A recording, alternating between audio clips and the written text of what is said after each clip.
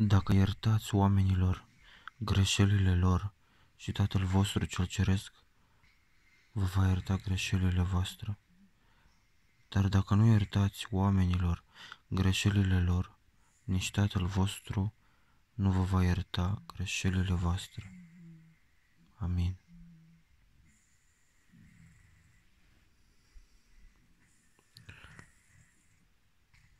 Tatăl nostru, iertarea greșelilor.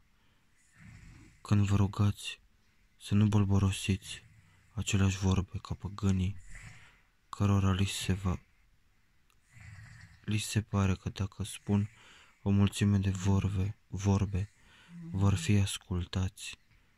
Să nu vă asemănați cu ei, căci Tatăl vostru știe de ce aveți trebuință mai înainte ca să-i cereți voi.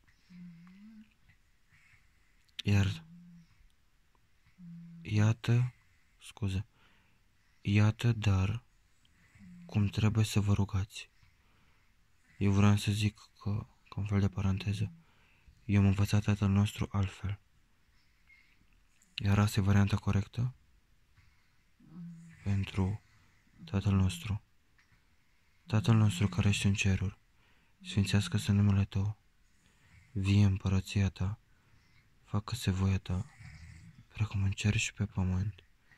Pâinea noastră și de toate zilele, dă-ne nouă astăzi și ne iartă greșelile noastre și ne iartă nouă greșelile noastre, precum și noi iertăm greșiților noștri.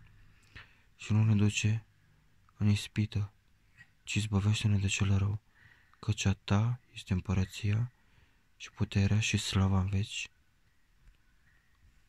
Amin.